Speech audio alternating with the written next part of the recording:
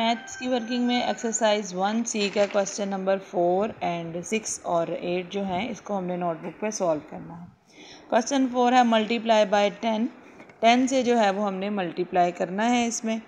हमारे पास जो है अमाउंट फिगर्स हैं one zero five three double two one million five thousand three hundred and twenty two को हमने मल्टीप्लाई करना है टेन से। फ़र्स्ट हमारे पास डिजिट जो है वो है ज़ीरो। राइट साइड से मल्टीप्लाई स्टार्ट करते हैं। ज़ीरो जो है, इसको हमने पहले टू से मल्टीप्लाई करना है।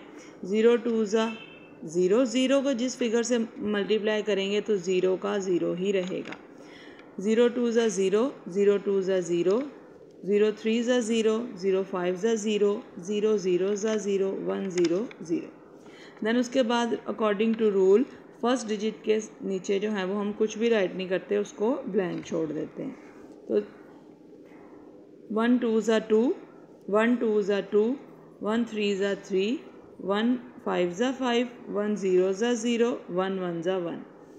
अब हमारे पास नेक्स्ट जो है वो फिगर्स ख़त्म हो गए हैं डिजिट्स तो अब हम इनको प्लस करेंगे, ज़ीरो, टू में ज़ीरो प्लस करेंगे, टू नेक्स्ट फिर two, three, five, zero and one. Then question number six है हमारे पास मल्टीप्लाई बाय थाउज़ेंड मल्टीप्लाई करना है हमने थाउज़ेंड से. इसमें भी हमारे पास three million twenty one thousand one hundred and twenty three है हमारे पास, और इसको हमने मल्टीप्लाई करना है थाउज़ेंड से. अब इसमें भी हमारे पास स्टार्ट में ज़ीरो है तो ज़ीरो को जिससे मर्ज़ी मल्टीप्लाई करेंगे ज़ीरो एज इट इज़ रहेगा. ज़ीरो थ्री ज़ा ज़ीरो ज़ीरो टू ज़ा ज़ीरो जितने भी हमारे पास ऊपर डिजिट हैं, उतने हम ज़ीरो यहाँ पर राइट कर देंगे देन उसके बाद अकॉर्डिंग टू रूल फ़र्स्ट जो है डिजिट उसके नीचे कुछ नहीं लिखना। अब फिर से ज़ीरो है। अगेन हम इनको ज़ीरो से मल्टीप्लाई करेंगे तो zero as it is zero ही लिखा जाएगा। थर्ड में, अब हमारे पास थर्ड है। अब हम, हमने जो है वो टू ब्लॉक जो है उसको टू फिगर्स को क्रॉस कर देना है। उनके नीचे कुछ नहीं लिखना। अब ज़ीरो से मल्टीप्लाई करेंगे अगेन ज़ीरो ही आएगा। देन फोर्थ डिजिट तो हमारे पास वन है तो अब हम इसमें थ्री जो है वो थ्री फिगर्स जो हैं, उनके नीचे कुछ नहीं लिखेंगे और फोर डिजिट से स्टार्ट करेंगे। वन थ्री ज़ा थ्री वन टू ज़ा टू वन वन ज़ा वन वन वन ज़ा वन वन टू ज़ा टू एंड थ्री अब हम इनको जो है वो प्लस करेंगे zero as it is zero zero zero three में कुछ भी प्लस नहीं होगा तो three as it is two में भी कुछ नहीं प्लस हो रहा तो टू भी ऐसे ही लिखेंगे।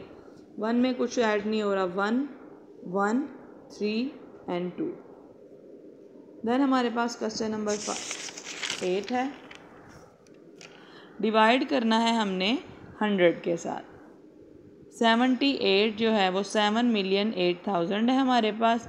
इसको हमने टेन से जो है वो डिवाइड करना है। फ़र्स्ट है हमने देखना है थ्री डिजिट वाला हमारा डिवाइज़र है तो हमने देखना है कि थ्री डिजिट ही लेने हैं। सेवन एटी है। अब हंड्रेड है। हंड्रेड का टेबल स्टूडेंट आपको पता है, नहायत ईजी है। और उसमें हंड्रेड को अगर हम सेवन से मल्टीप्लाई करते हैं तो हमारे पास सेवन हंड्रेड आ जाता है। मतलब हंड्रेड सेवन ज़ा सेवन हंड्रेड। ज़ीरो में से ज़ीरो माइनस करेंगे ज़ीरो। एट में से कुछ भी माइनस नहीं किया। एट का एट। सेवन में से सेवन माइनस किए ज़ीरो। ये अब हमारे पास एट हंड्रेड आ गया हंड्रेड एट, हंड्रेड को एट से मल्टीप्लाई करेंगे तो eight hundred as it is आ जाएगा। एट हंड्रेड में से एट हंड्रेड माइनस किए ज़ीरो लेकिन हमारे पास ये दो जो ज़ीरो बच गए हैं नेक्स्ट एंड वाले, इनको हम ऊपर राइट कर देंगे। जबकि स्टूडेंट्स अगर हमारे पास लास्ट वाली अमाउंट ज़ीरो बच जाती है, और अब ज़ीरो तो आपको पता है, किसी पे भी डिवाइड नहीं होता तो वो वाले जो ज़ीरो हैं, वो हम उनको आंसर के साथ राइट कर देते हैं।